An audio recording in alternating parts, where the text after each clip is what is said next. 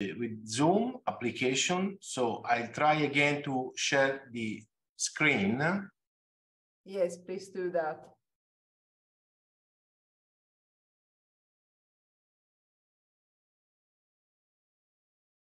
Is it okay now? It seems. It seems working. We still don't, yes, it seems that it's working well. Okay, okay I'm sorry. So, uh, I have some problem with the application. I don't know why. It's closing again.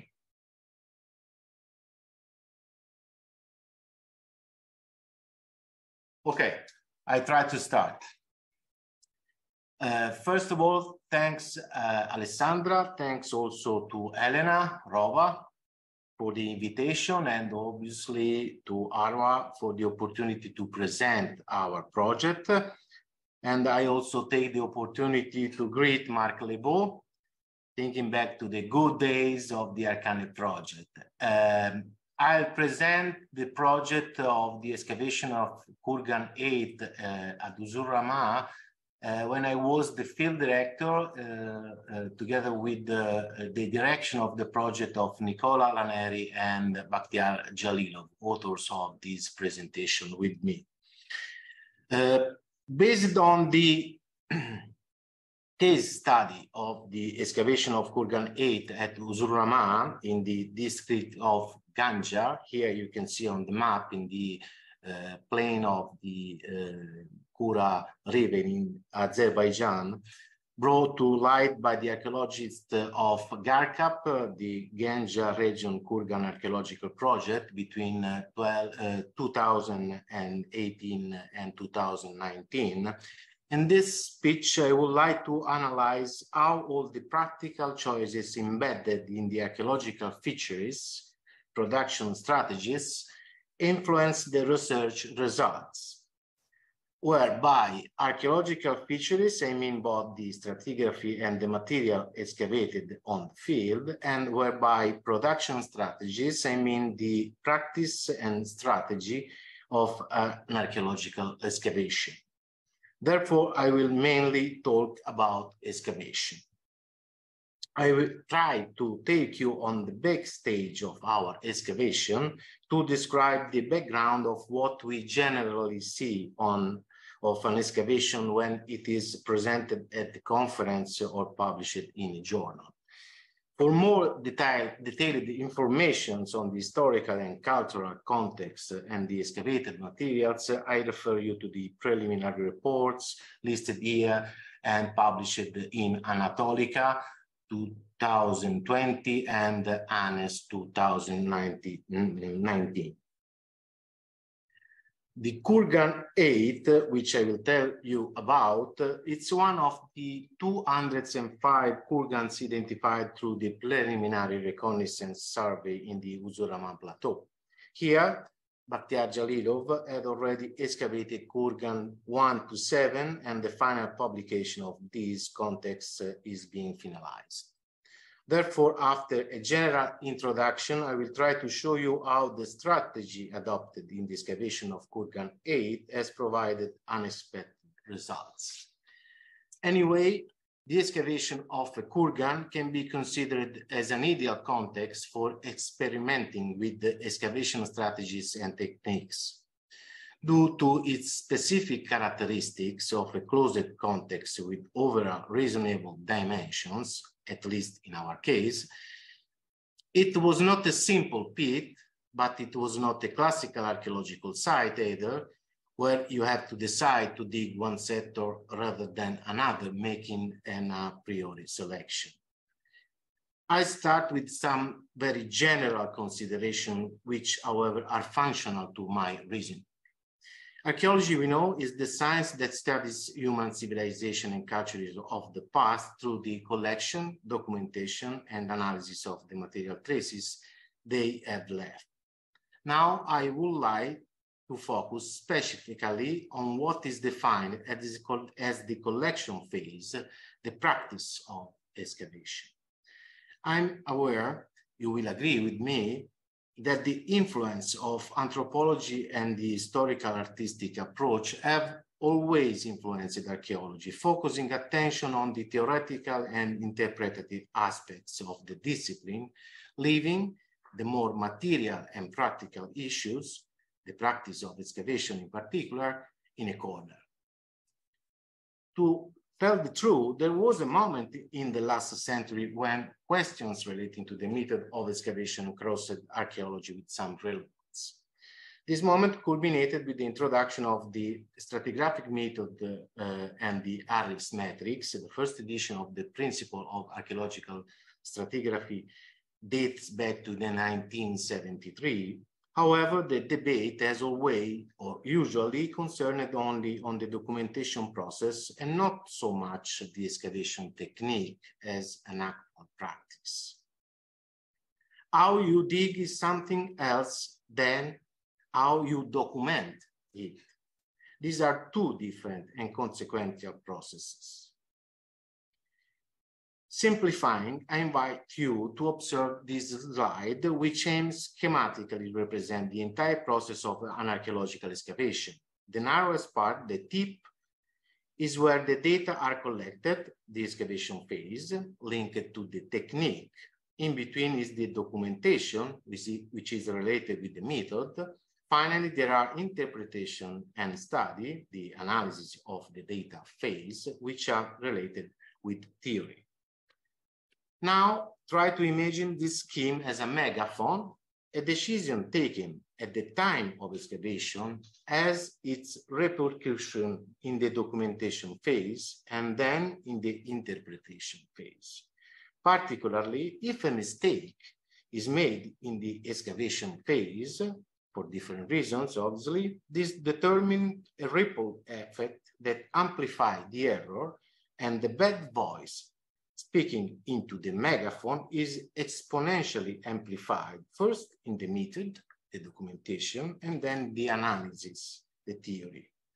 With the aggravating circumstances, if you like, that the archaeological excavation does not admit replicas being destructive, it is not possible to repeat the excavation of a layer once removed because the excavation is not a laboratory experiment. The collection phase, the excavation, is one is the one in which you get your hand dirty. Well, the archaeological data originates precisely in this phase. We often forget this, and we do not give this phase the importance it deserves considering it a prerogative of technicians, see, in our case, often the workers. This is demonstrated by the fact that, especially in the past, in our excavations, it is above all the workers and not the archaeologists who take care of the excavation.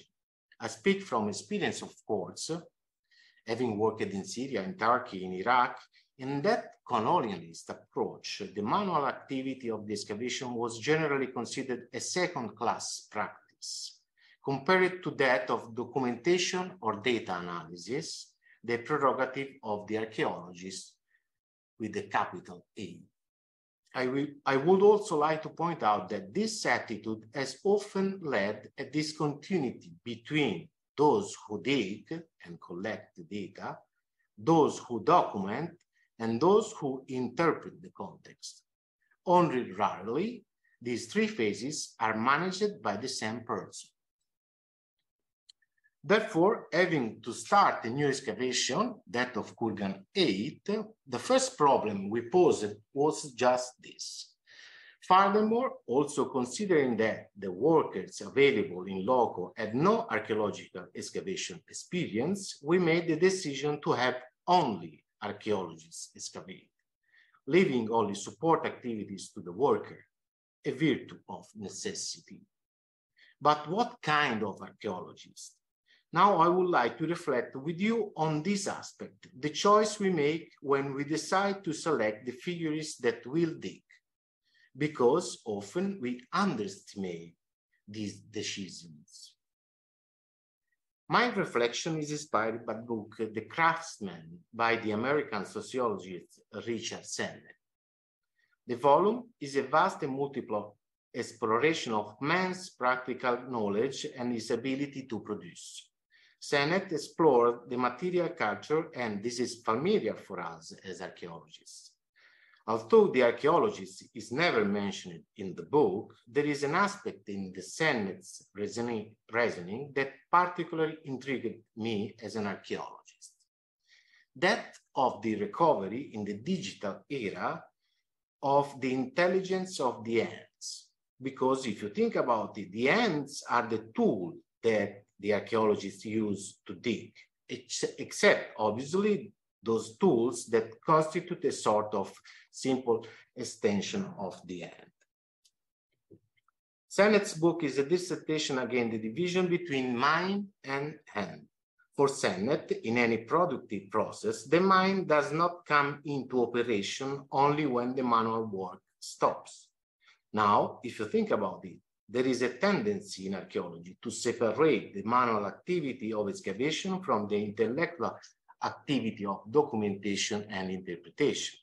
Often the hands of the workers carry out the excavation and only later comes the mind of the archaeologist. The real question, however, is that very often on the field, when the workers work, although they have received indications from the supervising archaeologists, they perform a manual activity. Otherwise, if it is the archaeologist who digs, they are aware, or at least they should be, that they are using a technique. For example, it is a technical choice to use the big pick, the small pick, or a trowel to remove a layer. Because borrowing from Catherine Bell, one of his definitions, the archaeologist has an intelligent hand this intelligence manifests itself in the selection of the right grip of the tools, in the definition of the gestures, in the ability to co coordinate the fingers, in the calibrated exercise of strength. When the archaeologists dig, they are not an animal laborans that use the technique in a mechanical way. The archaeologist is a homo faber, which by way is the Italian title of the Sennett's book. As archaeologists, when excavate, we experience what technique is for Sennett, an application of mastery based on the necessary connection between hand and head. This technical intelligence develops through the faculties of imagination, motivation, talent, but above all, through training and experience. However, this technical intelligence gains strength in its specificity also for another aspect. Machines and technology have often replaced us in many activities and continue to do so. They replicate our qualities, they work for us, and they exceeded our limits of strength, speed, and precision. However, Archaeological excavation is not one of these activities. Machines and technology have no impact on the excavation, at least in the practical activity of investigation of the stratigraphy. This is not the place, obviously, but I would be very interesting to explore the sensory component of the practical activity of the excavation. The hand transmits sensations, therefore it involves the touch, and the eye allow us to see the different colors. Because what the archaeologist does, often unconsciously, is to coordinate all these sensations. What is certain is that this intense physicality, mostly acquired through proof and repetitions, cannot be fully described through language. Let, let us never forget it. Sennett spent dozens of pages trying to make sense of it and tell us, how can you describe a cooking recipe? How can you describe a making of a vase on a wheel? Or how can you describe the operation of a surgeon? There is no effective way using the theory. Because to dig well is not enough to know the Harris matrix uh, or Harris method in theory as it is usually taught in the academic context, because no one can teach you how to use a trowel with theory. It takes practice. So we come back to the question we asked before standing, st starting our excavation of 8. What kind of archaeologist did we want in the field? For sure, an archaeologist with extensive experience on the field. But not only. Here I introduce another aspect that we took into consideration before starting our work at Uzun Back to our megaphone, let's focus now on the documentation. We all know the problems related to this phase of the archaeological process. In the first place, those relating to the creation of the planimetries, the traditional manual drawing technique are very slow and above all involve the interruption of excavation activities. It is at this stage of operations, perhaps, that the human factor generates so many errors. We have just said that technology and progress have had an irrelevant effect on the practice of excavation. The hands of the archaeologists are irreplaceable. Well, the exact opposite happened in the creation of the planimetries. In this sector, the contrast between the rigorous perfection of the machines and the human individuality of the artisan archaeologist, with all his defects and errors, is best expressed. So, before starting our dig, we talk about how to limit these errors as much as possible. And we came to the conclusion that the best way was to exploit technology. So we decided to abandon the traditional manual method. Not the tape of uh, measures, a sheet of paper or a pencil was used at Uzun Rama, except for the sketches in the excavation book that you can see here on the slide. So we adopted a survey system based on orthophotos, 3D models, and rendering. I know very well that almost all the excavation now adopt this technology because this system has a great advantage.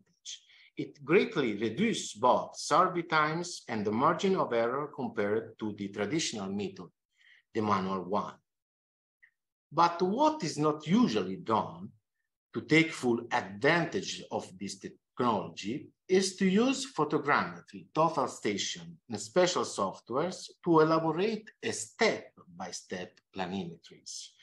This survey and drawing method being able to provide a three-dimensional restitution, so if done methodically during the excavation and not only at the end, can give us another view of the excavation of great support in the development of an ongoing strategy.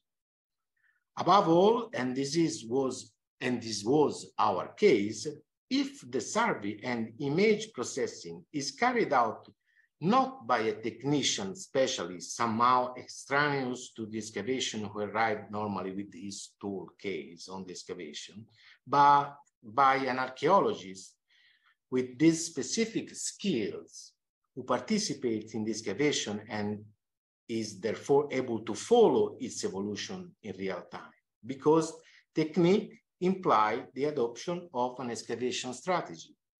Following this procedure helped us a lot during the excavation of Kurgan 8, especially when we were faced with a very complicated situation of collapse and filling layer. Here you can see the situation uh, after the excavation of the filling of the funerary chamber.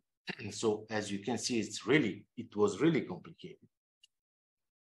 But the documentation presents another big problem, especially if, as in our case, the project takes place in a foreign country, is mainly scientific and not didactic, and above all, is limited in time. Kurgan 8 was excavated over two seasons between 2018 and 2019 for a total of eight weeks and often with 12 hours working days without interruption during the week.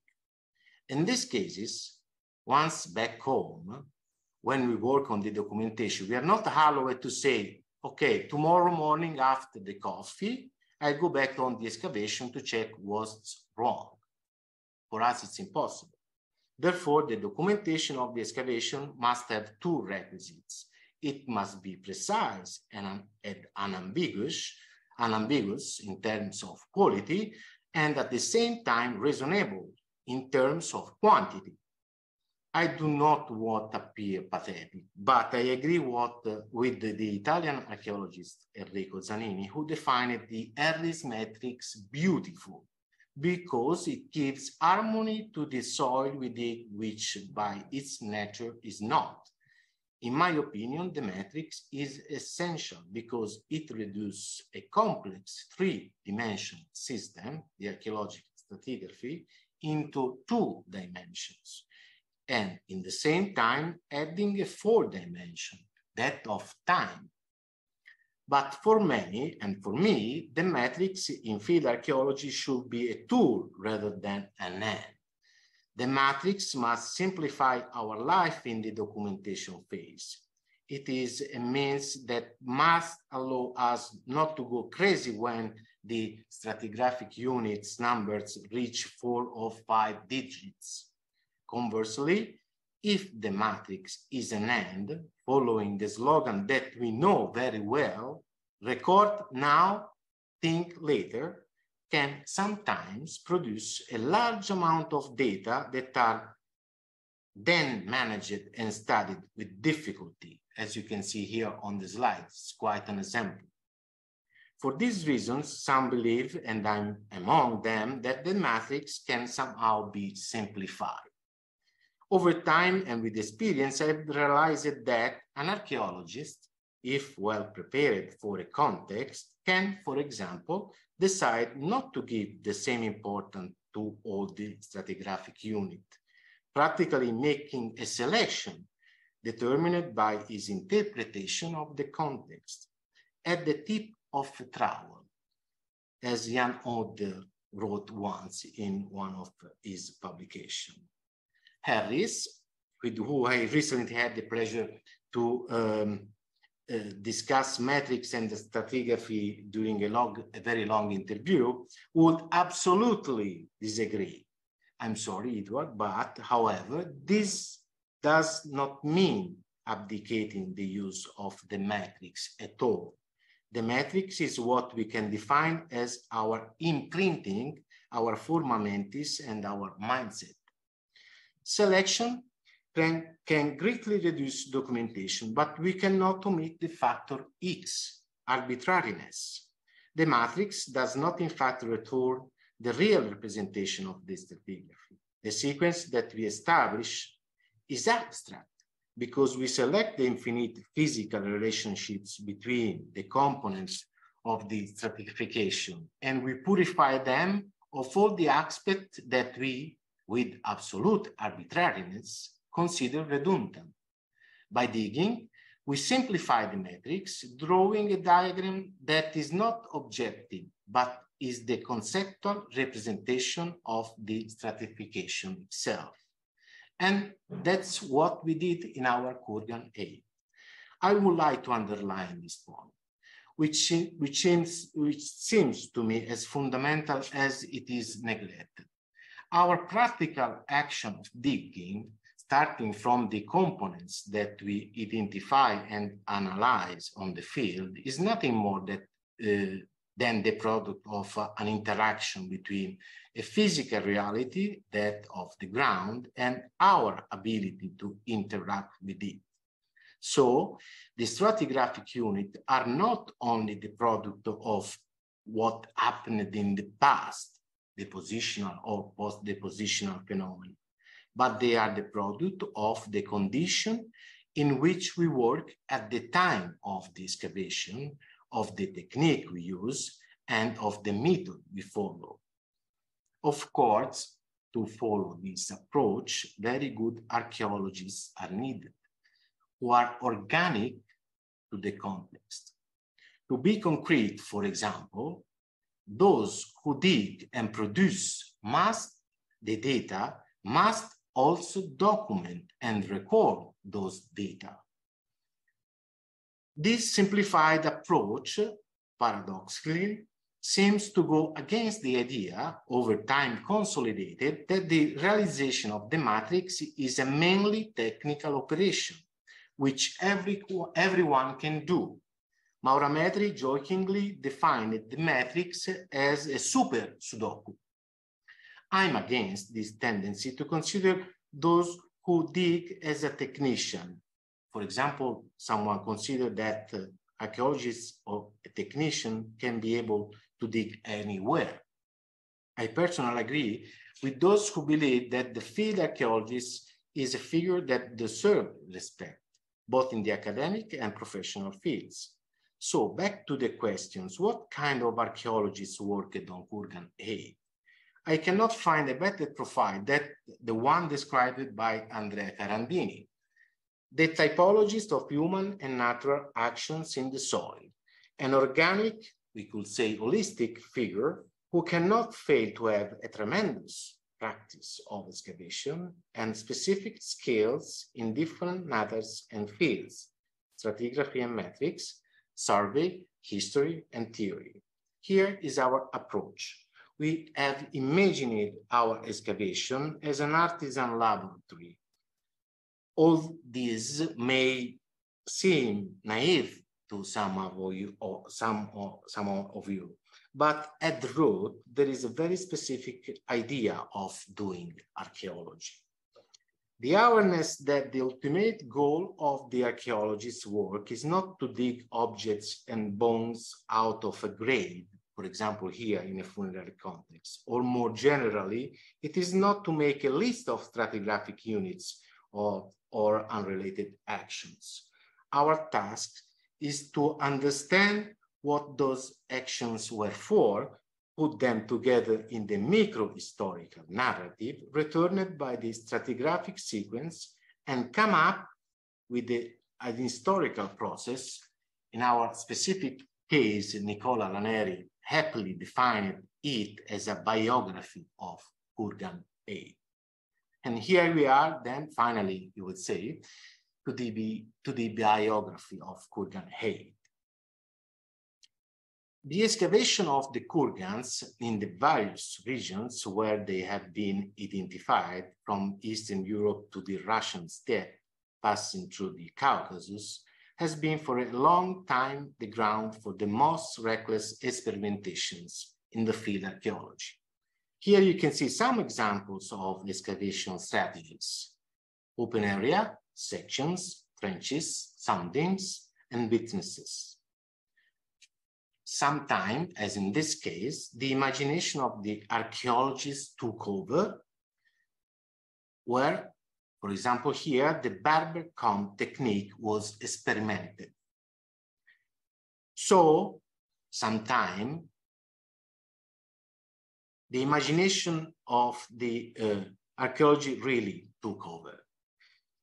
Here, you can see a model of the Kurgan 8 after the cleaning and before the uh, excavation. After the cleaning, we had identified a large stone on the surface, which, based on the experience of Bakhtiar Jalilov, could have indicated the location of the entrance dromos to the chamber. Here you can see the stone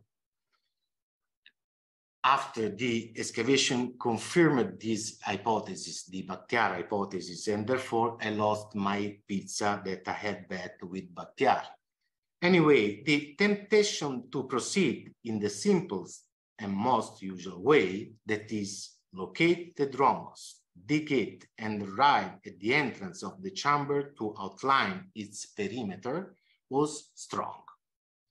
Then we reflected because in the excavation of the Kurgans, one of the problems is to combine the stratigraphy, the vertical dimension, with the topography, the horizontal dimension. For this reason, the problem is often overlooked and the simple operation of empty both dromos and the chamber is carried out to reach a level of the inhumations and the grave goods inside. In the Kurgan 8, we decided to adopt a strategy that would allow us to dig the structures as far as possible in extension, without leaving trenches, sections, or witnesses. The slide here show the situation after a very strong cleaning and scraping operation on the surface level of the mound.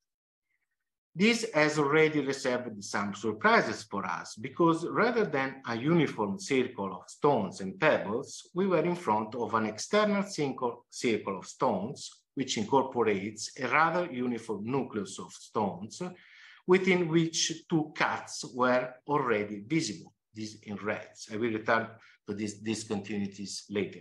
Moreover, in a section of the burial mound, here you can see the part, partial destruction the whitish surface here,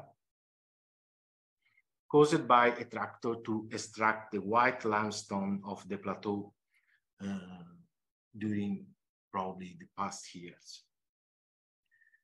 Thus, after the cleaning, we decided to apply an horizontal decapage of the mount, trying to follow each stratigraphic unit and levels. This field excavation technique was introduced for the first time by Leroi-Gourhan in the 1960s at Pincevent in one of his excavations. To give you an idea, it's like disassembling a cake layer by layer, following down each surface with own sloping. Now for convenience and clarity, as is usually done, I will show you the stratigraphy of the kurgan starting from its construction from the oldest to the most recent phase. Here you can see the schematic sequence of the Kurgan matrix derived from the application of the stratigraphic method in its simplified version, which we would have adopted as explained before, uh, after, um, above. And for this, for this reason, this matrix, it's a very readable matrix and not a very tangled matrix as usually. The original core of the kurgan was consisted of a large funerary chamber, about five meters wide and seven meters long, with an east-west orientation. In an initial phase, the virgin soil of the limestone plateau was cut for a depth of about 1.65 meters to create the pits for the funerary chamber and the dromos that uh, was uh, one meter light, wide and 2.2 meter long. The limits of these pits were filled with mud bricks walls. Here you can see the traces of the walls around the structure. A small pit filled with ash was located at the exact center of the funerary chamber here and might have been cut early in the construction process and used probably for ritual purposes. The excavation in extension on the surface and therefore outside the perimeter of the chamber allowed us to verify that the chamber and the entrance dromos were originally circled by a line of medium-sized stones. Here you can see the circle. He, here there's a, a particular close-up of this on the top of the chamber and the dromos, the tumulus with a diameter of around 12 meters was erected with stones and pebbles. Only the traces of the outer circle remained of this mound. It is important to note that this circle of stones has nothing to do with those found on the surface which covered it. After its construction, the funerary chamber was used for multiple depositions. Bodies were clustered in the western half of the chamber in a portable attempt to optimize the space and to fill the sector opposite to the tomb entrance. Here you can see this is the concentration of the deposition on the opposite side of the entrance. Although only a preliminary study on the bones has been carried out by the physical anthropologists, stratigraphic observation suggests that four individuals, two, four, seven, and eight, in brown on the slide, belong to this first phase of deposition. Here you can see the close-up of these burials and some of the grave goods found together with the bones that clearly demonstrate a cultural horizon belonging to a Kura-Araxes first of one horizon, marked by the presence of vessels of monochrome varnished ware typical of this archaeological phase in Western Azerbaijan, as well as other regions of the Southern Caucasus. Individual two was laid inside the grave on a wooden sledge, probably used to transport the dead inside the chamber through the steep sloping dromos. Here you can see the imprint of the wood on the floor before, here, and after the removal of the bones. The excavation of the interior of the chamber, and in particular of the levels of collapse and filling above this level of deposition, was carried out with great care. Consider that this level of collapse was mainly composed of layers without any archaeological materials or evidence except the remains of the roofing, we really had the impression of doing a geological excavation. Here you can see the situation before the excavation of the filling inside the um, room, the funerary Rome. At which point we really could have simply emptied the chamber to get to the inhumation level, but we decided to take the more complicated route, starting to follow the levels and each stratigraphic unit with the crazy slopes, which you can see here by looking at the slide. And they and that pay off because following the stratigraphic method was fundamental because it allowed us to hypothesize what happened inside the chamber after the deposition phase. First, we verified that after the first deposition phase, the southern wall, probably due to a structural failure, collapsed inside the funerary chamber, with the exception of the section located to the southwest corner here. The collapse of the wall caused also the collapse of the roofing and uh, that fell inside the chamber, reducing the available space to be used for funerary deposition that was now limited to the portion more or less coinciding with the deposition area of the first phase of deposition. Another strong point of the project was the close collaboration with the anthropologists who have not arrived after the excavation to study the bones, as usually happens, but together with the archaeologists took part in the recovery of the bones during the excavation. This collaboration has allowed us to hypothesize that the occupants gave rise to a quick intentional rearrangement of the chamber after the collapse of the wall, and to explain also the overlapping of the burials inside the chamber. I take the opportunity, obviously, to thank Ilmaz Serdal, Valentina D'Amico, and Mundwen Ulmash, our anthropologists. For depositing a few more individuals inside the remaining empty area of the room, the collapsed mud were piled up, part of the collapsed roof and the stones of the mounds were removed, and some of the skeletal remains ascribed to the first phase of deposition were accumulated in the northwest corner, where we found them fully disarticulated and perhaps partly delimited by a fragmentary bricks in this corner, exactly here. Inhumation pertaining to the second phase of deposition are three, three, five, and six. Here you can see these are in, green, this part of the room coming from this level are the pieces of the second carbonized wood sledge. Here you can see the charcoals of this sledge. Some other individuals were deposited in the other only available space inside the dromos, here, where the bones were unfortunately found mostly disarticulated. Before the ritual burning of the chamber, a particular and in some ways enigmatic wooden structure was built at the southwest corner of the room above the inhumations.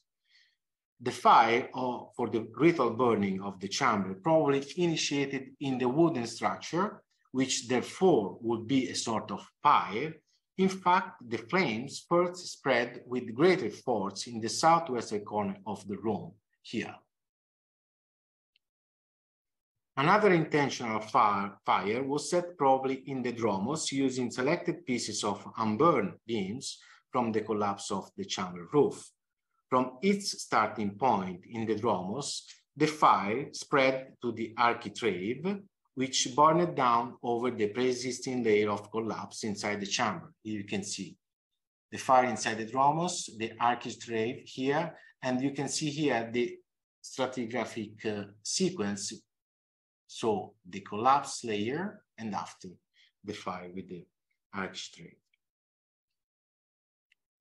Thanks to the previous collaboration of the Italian firefighters with who we discussed the archaeological data, we can hypothesize the dynamics of the fire inside the chamber. The consequent collapse of the beams and the sliding of the materials from the tumulus must have, at least in part, suffocated the flames, reducing their intensity. For this reason, a part of the wooden boards of the structure remain unburned, although the wooden beams continue to slowly burn beneath the debris. Here you can see two of these. As you can see here in the section, the irregular surface of the depression resulting from the destruction was finally filled this is the red surface here and here. And the original tumulus was reassessed, although simply bounded by a small circle of stones and not completely covered by stones, as it must have been originally. In fact, the original mound had already fallen inside the chamber at the time of the first collapse of the wall and the roof. Probably during the filling operation, and this is quite curious, the last inhumation, individual one, light green, here on the plan, this is the basis of the bones together with the uh, vessel. Um, this individual, the individual one, was buried in the northern side of the chamber.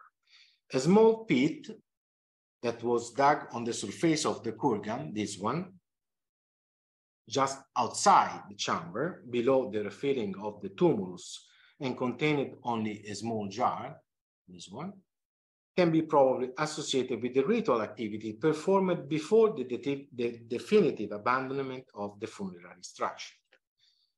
The stratigraphic excavation of the filling also allowed us to hypothesize what type of roof the chamber originally had. The frame of the chamber roof was probably made by long wooden beams which were placed perpendicular to the entranceway. It is likely that the wooden framework of this nature was covered with wattle and daub, of which we found traces on the filling. On the slide here, you can see a reconstruction extracted from the virtual Kurgan Archaeological Park. If you want, you can navigate it on our website. As regards the chronological horizon of this phase, four organic samples of seeds, charcoals, and human bones collected within the funerary chamber of the Kurgan have given us a preliminary result that established solid calibrated dates within a range of 3,660 and 3,500. Resuming, the excavation of the funerary chamber of Kurgan 8 confirmed that data available from confirmed the data available from the other Kuru kurgans excavated in western Azerbaijan, in which the kurgan was used for a multiple deposition of the members of the communities, accompanied by a very poor set of funerary goods represented mostly by vessels. Another typical aspect of the kurgans of the Kura-Araxes period of Western Azerbaijan is the partial burning of the funerary chambers, chamber that has been considered as part of a unique termination ritual within the funerary sequence of the use of the kurgans of this specific period. For being as optimistic as it is superficial, many of these results could also have been achieved by excavating the kurgans in the traditional way, that is simply by emptying the chamber. But I dare not imagine how we could have explained the collapse of the bricks of the roof, the two stages of deposition, and the singular, singular inhumation one floating in the field. This was only possible thanks to the technical ability of the excavators, the real-time reading of the stratigraphy, and the support of photogrammetry and renderings. However, where our strategy of excavate, excavating full tradition, the most significant and unexpected results was when we realized that the stone circles found, found on the surface, the later mound, was not directly related to the burial chamber, and the early mound uh, with the burial chamber and the early mound, and had been built much, much more later. Conversely, if we had simply excavated the chamber without investigating its context, we could have assumed that the stone structure visible on the surface was related to the burial chamber in a single complex. And we might have attributed to the incapacity of the buildings the fact that it was completely off-centered from the mound. In fact, after a long phase of abandonment of the sealed first kurgan, the visibility of the burial mound was probably used as a proxy for setting up a new kurgan. Two graves belong to this phase, and the black varnished ware vessels of the remaining grave goods allowed us to suggest for the new Kurgan, a date to the post-Kura-Araxes phase or early Kurgans period, about 2500 2000 before, uh, before Christ. Here you can see the schematic plan with the overlapping of the two mounds, the first and the second, and the position of the two graves on, of the second Kurgan. Grave 1 contained the disturbed remains of one individual together with few funerary goods. On the southeast side of the tomb, a deposit of animal bones, including those of a snake, was found. And grave 2 contained a single deposition. A preserved beam found near the grave suggests that it had a wooden roof that was probably removed by the looters, who probably took out some of the precious objects as well as disturbing the buried individual.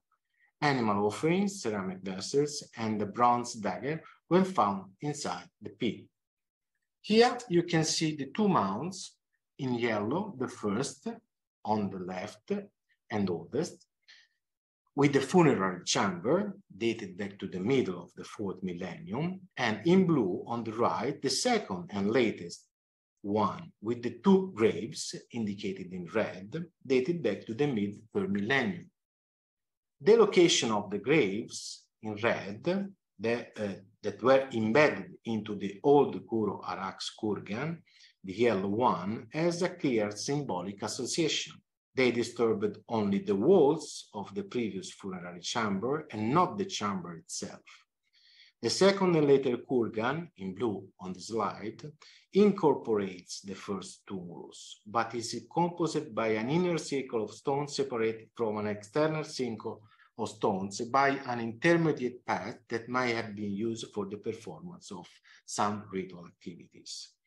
It is important to note that the two burials are practically centered with respect to the second kurgan, and this led us to hypothesize that they were excavated at the same time when a new surface mound was made. Moreover, from the overlapping of the planimetries of the two mounds, it is clear that these are not concentric. In fact, while the oldest has a pretty much perfect circular shape, the more recent has, one has an oblong, irregular outer ring about 16 meter north to south and 18 meter east to west. However, and this is significant, they converged both on a tangent point at the entrance of the dromos, where a large stone, like a real funerary cippus, here inside the green circle was located. I was telling you earlier about these stones. This is the pizza stone. Unfortunately, we do not know exactly when, but both the grave one and two were looted most likely by someone who knew their location below the stone mound. We can infer this from the fact that the looting pits seems to be very punctual. The fact that the tombs were violated also explain why the pits cut the stone circles of the kurgan by which they were originally covered and with which they were originally associated. Again, it was the context that allowed us to this association. Otherwise, having identified them during the surface scrapping, we would simply have concluded that they were two larger graves cutting later the mound associated with the funerary chamber. So if the expectation was to dig a standard kurgan, in the end, what we have brought to light is a funerary complex in use for more than 1,000 years, consisting of a first mound with two phases of deposition, an intermediate collapse and the ritual burning of the burial chamber, and a second mound with which two burials are associated. As I wrote in the abstract of this speech, the result has therefore returned the complexity of this funerary context, assimilating it to a short film rather than a snapshot. In conclusion, what I I would like to underline is that the particularity of this context is not accidental, but is the result of what I stated at the beginning of this speech. How all the practical choices embedded in the archaeological fisheries production strategies influence the research results. This want to be our very small contribution in the specific sector of the funerary archaeology of the Caucasus in the hope that uh, this way of working can affect above all the students and young researchers engaged in this branch of study with the expectation that they can understand, if still needed, that the ultimate goal of the archaeologist's work in this context simply cannot to be to dig objects and bones out of a grave, but investigate their complexity in four dimensions. Before finishing my speech, let me thank all the institutions that support the project, CAMNES in Florence, the University of Catania, and the National Academy of Science of Azerbaijan, the Italian Ministero degli Affari Esteri, the LDM Institute here in Florence, and the Fondazione OL Mediterraneo Antico, and the governor of the city of Ganja. And finally, I will deeply thank the workers on the site, obviously, and all the scholars, researchers, and students who participate in the excavations, Chiara, Alice, Rachele, Martina, Lola, in particular, Lorenzo Crescioli, expert in photogrammetry and uh, 3D rendering, and obviously the two directors of the project, Bakhtiar Jalilov and Nicola Laneri, who have led this very small group like a motivate elite group on the excavation. So I thank you for the attention. Thank you so much, Stefano. This was a truly wonderful talk. I enjoyed it both uh, in the first theoretical part and in the second. Congratulations for this excellent excavation. It is really a pleasure, I think, for every archaeologist who is passionate about about um, field work to to to see a, a, a well excavated series of contexts. It's just it's just very nice. It's, it, and it's uh, I think absolutely enlightening about how how we can now approach excavating a kurgan. I mean, probably as you said, other strategies would would uh, show a somewhat different story, but I am still quite convinced that your path has been um, truly, truly the most uh, interesting so far in, in, in this kind of excavation. So um, I uh, noticed that uh, um, Nicola uh, has joined us, by the way, during your speech. So welcome to Nicola. Yes, he's still there. And thank you, uh, Alessandra. Ciao. Ciao. And so now uh, I hope that uh, um, I hope I believe that there will be some some questions for you. I certainly have some, but I also invite uh, all, all those who are participating, if they don't feel like they want to, to, to, to, to speak up, just to write down a message, a comment, or a feedback um, in the chat. I will be um, looking for it. And um, in the meantime, um, before Elena disappears, perhaps Elena, you want to add, I know that you have to go quite soon, but if you want to take the chance and say a couple of concluding words. Yes, thank you, Alessandra. Uh, but I will I will try to remain until the end because this is really this was really a very interesting lecture and I want to hear the, the discussion as well. So I want to, first of all, to thank Stefano and, uh, and uh, Nicola as well for um, participating to this uh, program of lectures and actually inaugurating it. And uh, um, yes, I have uh, some uh, some comments. I mean, I, I think this clearly shows us to uh, how how much we we can uh, in fact uh, get from the excavation of a kurgan, which of which many were excavated, but with um, standard results. And there is, uh, in fact, a whole world, let's say, to still to be discovered from uh, applying, well, just careful excavation, excavation techniques.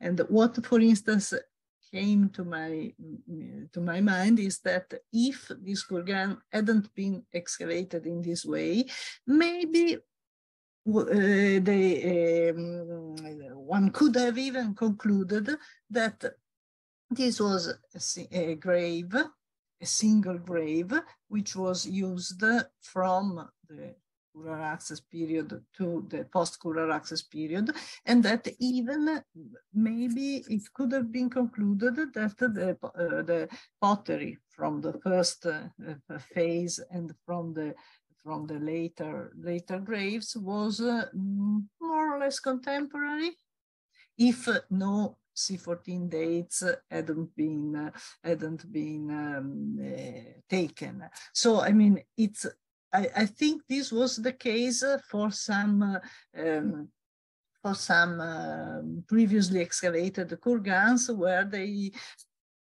um, allegedly found the uh, and post-Kura-Araxes uh, um, pottery together. But even more in, even more interesting, I think, is the, the the fact that uh, it was discovered that these were actually two different kurgans. And, the, and that kurgans were somehow uh, reused, readapted. There are a couple of other cases, and I think this was much more uh, common than we than we realize. So, well, thank you, thank you, Stefano and uh, and uh, Nicola for uh, showing this so so clearly. I have one one question only about the covering. So you think the original kurgan was co also covered with stones, or or maybe it was just covered with earth? And there was just a circle of stones about it. Do you have any any hint we, about that? The only evidence that we have it, is that for sure there was a, a, circle of stones around the funeral chamber, but what we can suppose is that also the original kurgan has a, a roof of stones and pebbles because inside the funerary chamber in the filling, we excavated tons of stones and pebbles. So probably it was the result of the uh, collapse inside the funerary chamber. But this is an hypothesis that we know. So you didn't find, for instance, above the collapsed roof, a, a clear layer of collapsed stones we found a layer with mixed stones and dirt because of the gravity, you know, stones yes. go down in the dirt. But uh, yes, we had the impression that the original covering of the, of the roofing of the mound was by stones, as in the second and later case. Okay, thank you. So are there any other questions? Well, while everybody is still perhaps thinking, I have a couple of questions. Um, two questions on your more philosophical introduction, theoretical slash uh, philosophical, I would really say, and uh, a couple of questions on the context. Um, the philosophical questions is mm, well, no, no, this is more like a, um, a theoretical questions. I mean, I subscribe, I, I completely agree with practically every detail of what you said. So, but there is one point that I'm not sure I agree. And it is the fact that you, in your sketch of the ideal archaeologist, your ideal archaeologist is informed about the history of the place he is excavating. Um, Yes, this seems banal, but it contradicts what uh, our German colleagues taught me in my years in Tübingen. They wanted the documenters, so to say, to know nothing about the context in search of, you know, a sort of uh, objective uh, view of what you had in front of you. And I already see your expression and we don't agree, this is bullshit, but there is a little bit of truth. For example, in the South Caucasus, a lot of local archaeologists are really, truly well informed about uh, uh, the context and the history.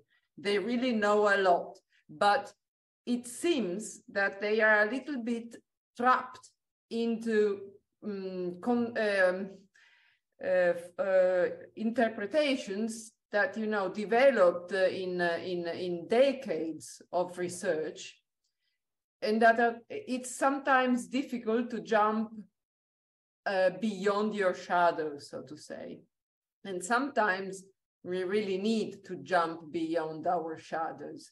So i think the ideal archaeologist sometimes may be disinformed about uh, uh, about history and context while I feel he must always be very well aware of the geomorphology of what's uh, of, of, of the context.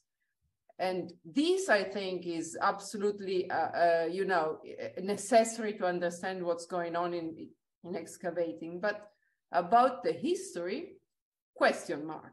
And this is a little bit a provocation because our Italian school, of course, has placed so much uh, accent on the necessity to know about history, of course.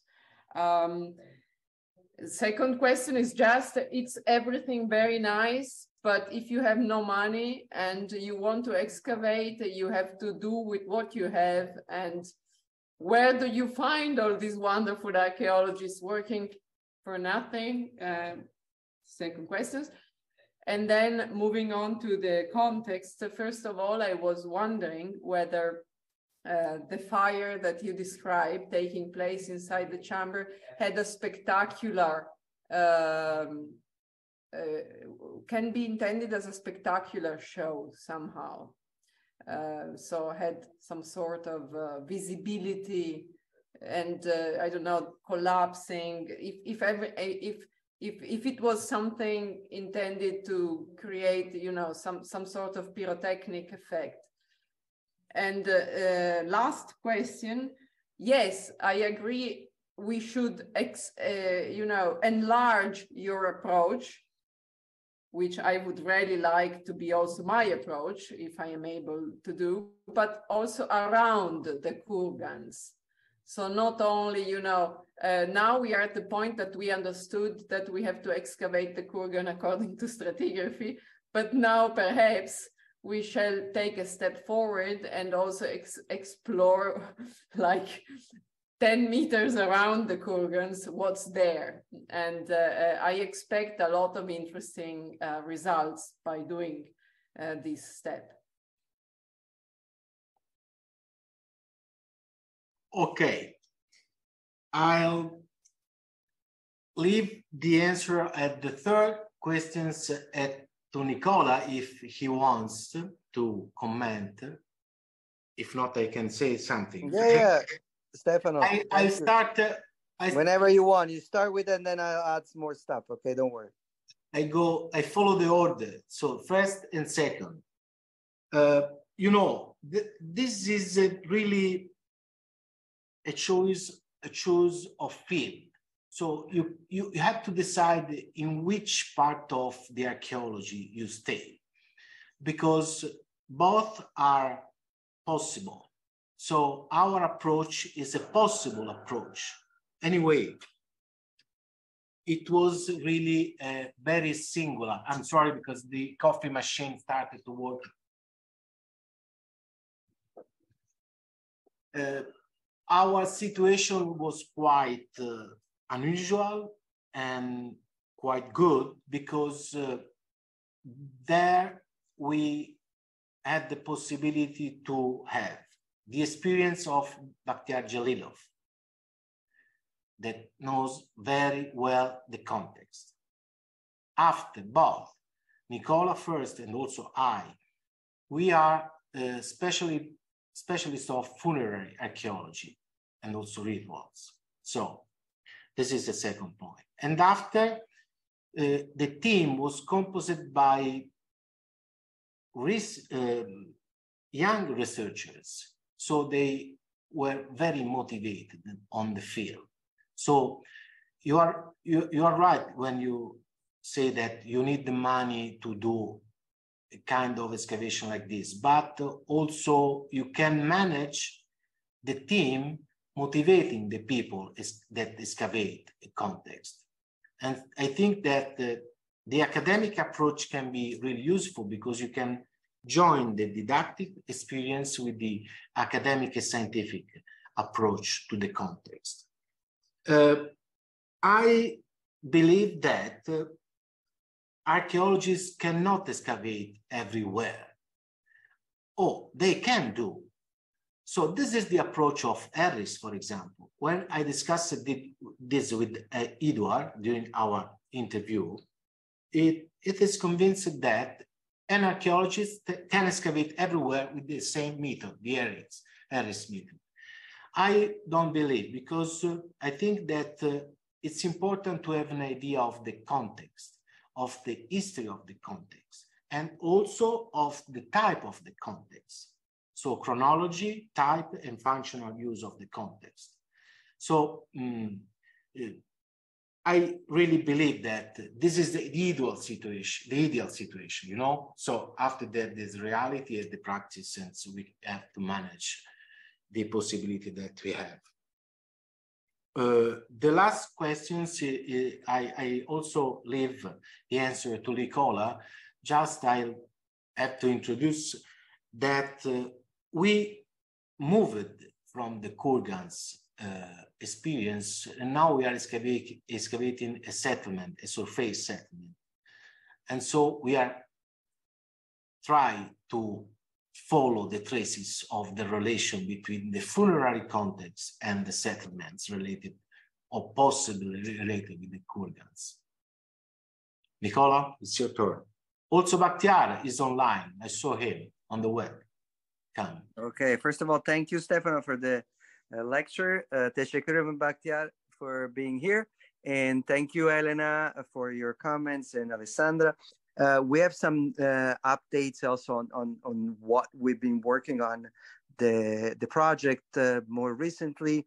We expanded with a PhD uh, project that will be discussed in June, July by Chiara Pappalardo, and she's going to apply a viewshed analysis on the visibility of the kurgans. And uh, I believe I agree with uh, Alessandra. I think the visibility was uh, a mean for uh, showing a sign of a, a scenery with sort of, uh, I don't want to call fireworks, but more like volcano effects with the fire that was visible from um, almost everywhere. Also, the fact that the the, the kurgan was probably the, the the, the the coloration of the kurgan was almost whitish. And um, going back also to Elena's question, I believe that uh, there were no stones, at least in one phase, it was all like uh, uh, whitewashed. And so this is what we think. There was probably a collapse, and uh, and uh, and the fire was coming from uh, either a chimney or from the center of the of the chamber. And on this, we have a new PhD project by that I see connected, Alicia Mendola, and she's going to work on sampling uh, from every single uh, Kura-Araxes um, kurgans excavated by Bakhtiar and also from Kurgan 8 uh, uh, samples to understand the level of temperature and how the fire was used in the funerary chambers. And uh, last project that uh, it's uh, important for us, and this is with one of your former students, Anna Paola Passerini, Cornell, and Stuart, it's the chronology. Uh, together also with Giulio Palumbi that just uh, told me to send some uh, um, skeleton samples to Germany for the project he's running with the dye. Uh, and with uh, Anna Paola and Stuart, we're going to try to find a more fitting chronology. As you probably know, this uh, Kurgan 8 is the most ancient kurgan for the Kura-Araxes uh, period in uh, in in this uh, in the in the Southern Caucasus, dated to around 3,600 uh, uh, BC. I want to add also about the um, Alessandro's comment on the history and not understanding the history. I think it's important to understand the the the, the history through.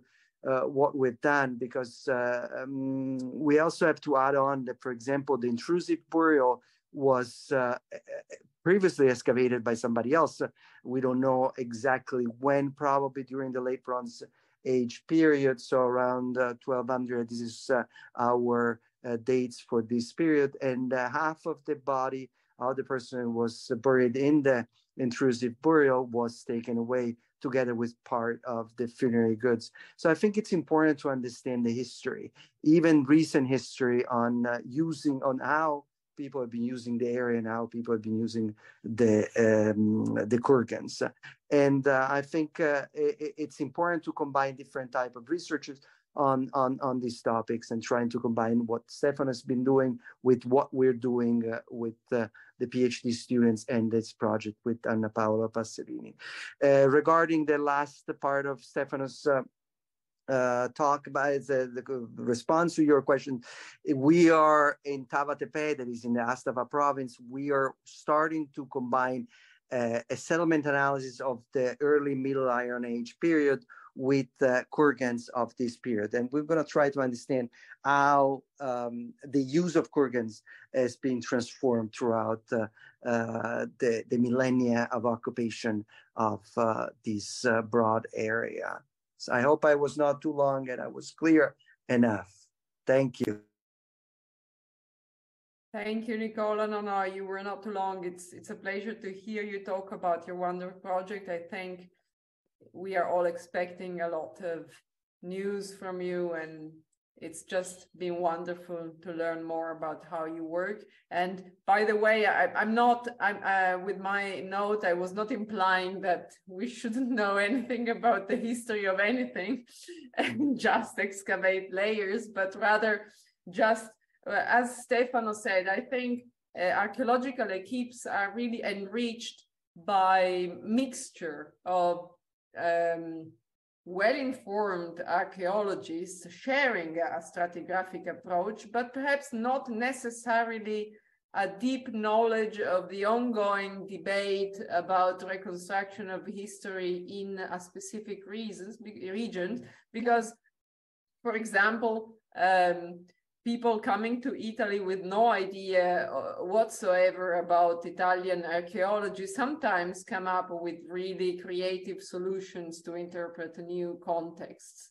And so I really uh, uh, always um, expect with surprise and interest what um, archaeologists coming from other perspectives uh, come up to to explain uh, well-known context. So that was my point. It was just in a way to to welcome a mixture of uh, uh of uh, of expertise uh, in this sense, rather than you know dismissing studying history or something like that.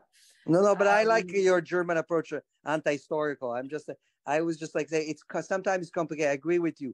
like you know, we're starting a new project in Iraq, and sometimes uh, we decided to go with this German approach. Like we, I don't want to know anything about the previous history of the excavation, but then you deal with problems that, uh, and, and, you need a source. and it's fascinating to bounce back and forth between knowing and not knowing. And I agree with you. It's like a, it's a fascinating approach to to know to not know. I don't know. It's, kind of like yeah. A... we must keep it dialectic. Anyway, exactly. I, I, don't want this to monopolize our our discussion. It was anyway really compelling. Everything you noted and said. Um, any other questions from our public? Even clarifying question. I see a couple of students among the public if they'd like to uh, say something. Ah, Pavel has a question not a student, but the co-director of my project. Please. Yes, hello. So thank you, thank you very much for this uh, fascinating presentation. I enjoyed it very much.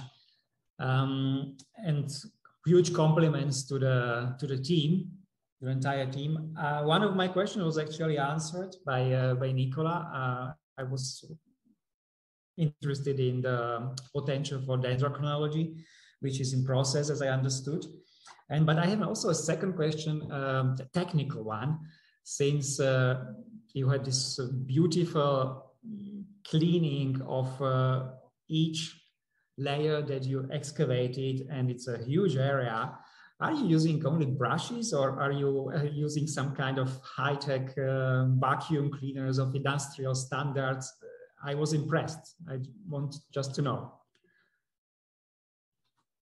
Thank you. No, we use it only trowels and brushes. Brushes. Wow. Yeah, of course. Sometimes we also use the big pick. This is really um, when you are in front of uh, a context. Uh, really, the archaeology archaeologist has to decide which kind of instrument to use for sure. this this is important because only an archaeologist can decide.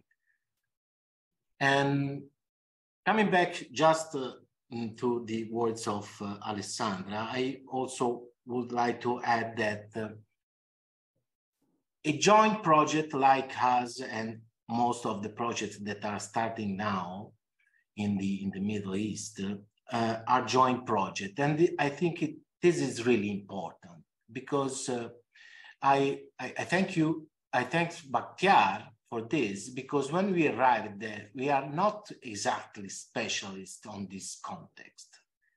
But due to the experience of Bakhtiar, we develop our experience on the field.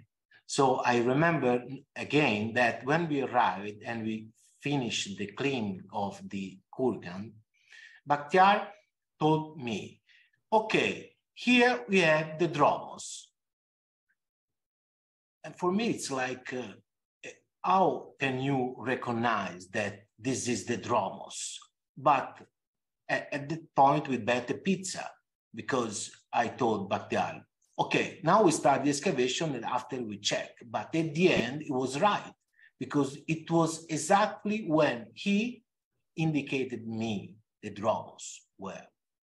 So I think it's important to have uh, archaeologists that uh, work on the context in the country in which we uh, start projects. This is, I think, one important thing to underline.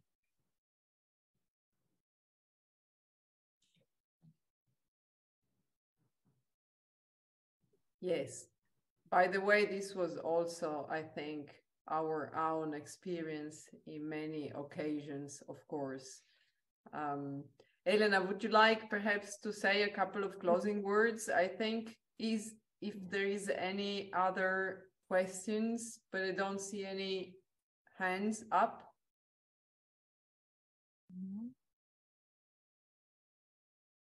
No.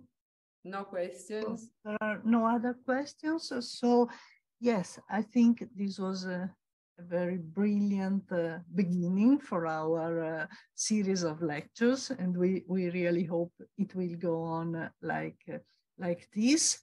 Just uh, I wanted to mm, say, uh, I mean, um, um, last few words about the theme, uh, whether it's uh, it's better to come with no experience, with no knowledge, or well, I definitely think it's better to come with uh, at least an idea of what uh, what are the historical questions.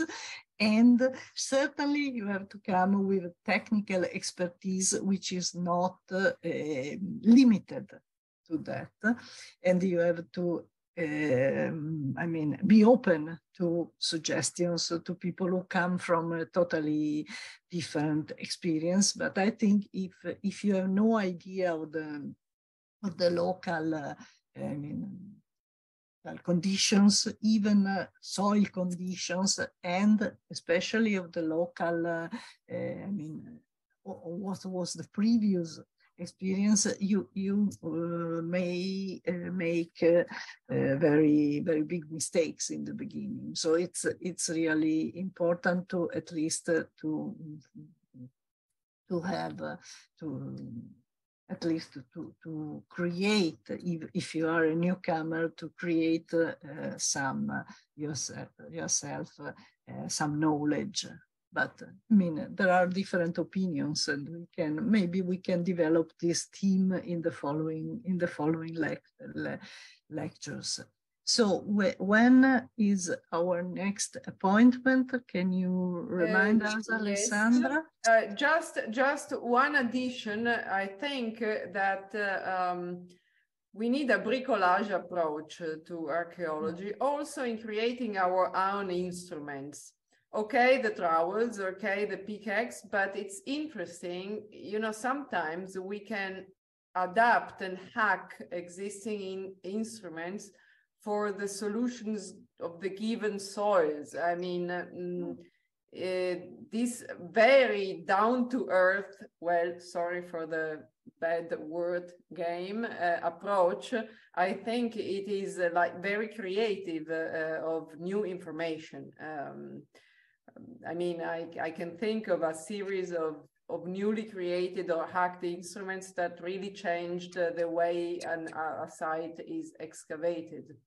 Uh, from high-tech solutions, Pavel, I really truly hope that we are buying, uh, you know, solar-powered vacuum cleaner for next year, but whatever, to low-tech solutions like self-made instruments for excavating that can be very effective. But okay, this is just me droning on.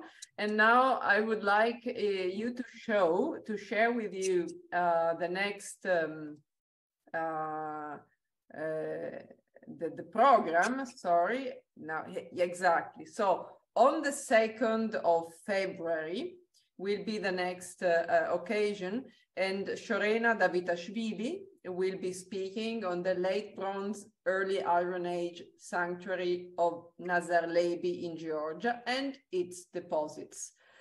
Mm, by the way, uh, we had some problems, um, particularly in divulging this uh, first uh, uh, appointment to Agade Sasson mailing list. It didn't work, which was our main avenue to publicize it. So sorry for that, uh, Stefano, Nicola. Uh, this this uh, was very unfortunate, and we are sorry. But this your uh, your paper will be uh, online, and I think anyway this is uh, more has more views than a singular conference, and I'm very happy that it will be so because I will be certainly suggesting that my students here. Um, hear uh, your talk. I thought it was very also thought provoking in the first part. Even people who are have no interest whatsoever in excavating a kurgan uh, may find inspiration in your uh, approach uh, uh, from from a theoretical point of view. So it, it, will be online, and I will share with you the link as uh, as as soon as I have it. it's the first time for us, so sorry the. Somehow uh, hobbling uh, procedures. Now I uh, uh, stop my sharing I, and return. Sorry, I don't know how to do that, but mm. no, I, I cannot do that, but perhaps it's not so important.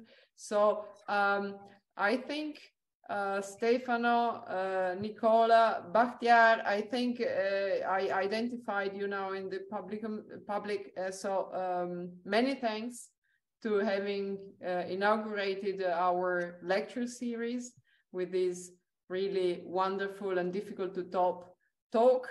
And um, so I hope to see you soon. Perhaps uh, you will pop in in uh, some others of our lectures to, to give us and share with us your wisdom. And congratulations for your work and all the best. Oh. Ciao. Thank you. Thank you. Thank you very much. Thank you. Ciao, ciao. Ciao. Bye bye. Thank you, everybody, and see you soon.